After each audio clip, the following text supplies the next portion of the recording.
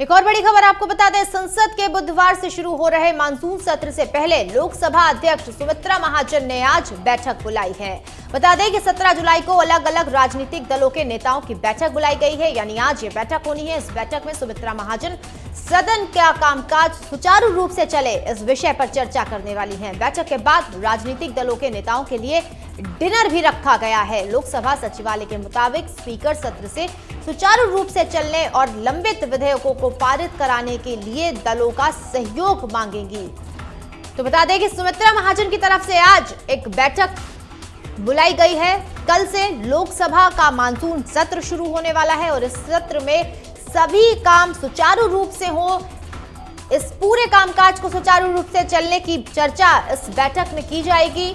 सभी राजनीतिक दलों से सहयोग मांगेंगी सुमित्रा महाजन। और इस बैठक के बाद डिनर का आयोजन भी किया गया है। तो सुमित्रा महाजन ने आज राजनीतिक दलों के साथ बैठक बुलाई है। बैठक में सदन का कामकाज सुचारू रूप से चले। इस विषय पर चर्चा होनी है।